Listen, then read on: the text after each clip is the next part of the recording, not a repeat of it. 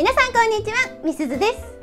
毎日暑いですね。皆さんいかがお過ごしですか？こんな時期はたっぷり食べてしっかり栄養をつけたいですね。今日は今の時期にたっぷり食べたいズッキーニを使ったレシピをご紹介します。切ってオーブンで焼くだけの手軽なメニューです。ズッキーニはキュウリのような見た目ですがかぼちゃの仲間。初夏から夏にかけてが旬のお野菜です。油との相性がとっても良いので揚げたり焼いたり炒めたりそして煮物に使ったりといろいろなお料理に使えるお野菜です。今日はそんなズッキーニにオリーブオイルを絡めてチーズで焼きます。今日もぜひ最後まで楽しんでいってくださいね。このチャンネルはお砂糖みりんなしレシピを載せています。チャンネル登録高評価していただけると嬉しいです。また目次は概要欄に貼ってますのでお急ぎの方は必要な箇所に飛んでください。字幕もつけています。今日の流れ3ステップ。今日はまずズッキーニを切ります。次にオリーブオイルを絡めます。最後に焼きます。この3ステップでいきます。オーブンで焼きますがトースターで焼いてもいいですよ。詳しいレシピはブログに書きます。概要欄リンクからどうぞ。材料はこちら。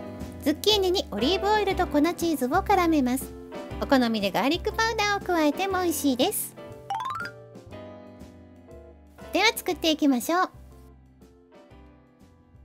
ズッキーニ2本は洗ってヘタを取ります。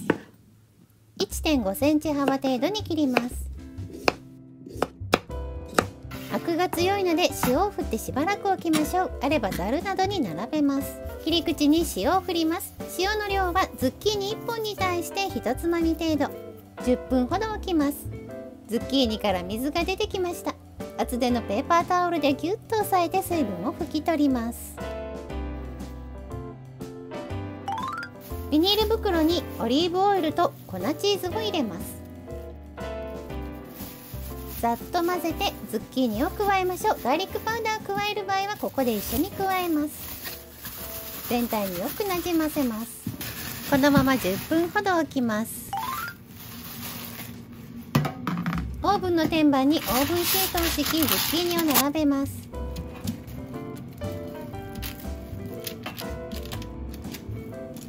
上にチーズをのせます。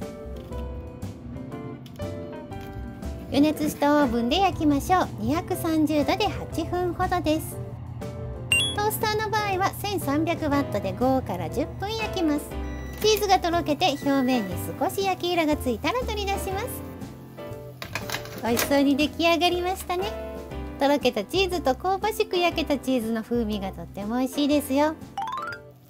フライパンでも焼けます。その場合は同様に塩を振ってしばらく置いたズッキーニをオリーブオイルで焼きます。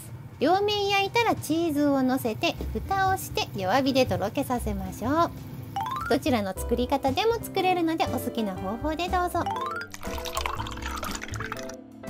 器に盛りましょう。お好みで胡椒を削りかけてパセリのみじん切りやドライパセリなどを散らします。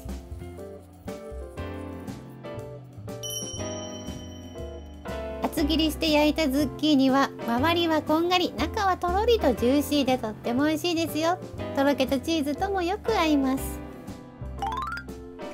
ということで出来上がりです。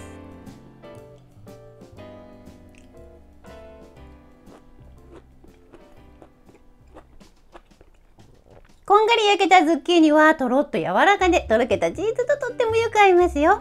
また下味のオリーブオイルにカレー粉やガーリックパウダーを加えても美味しいです。過去動画では同じ作り方でレンコンのチーズ焼きもご紹介しているのでそちらも概要欄にリンク貼っておきますね。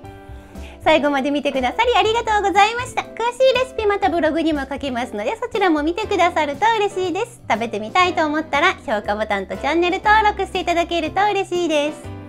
ではこの後も素敵な一日をお過ごしください。また次回の動画でお会いしましょう。みすずでした。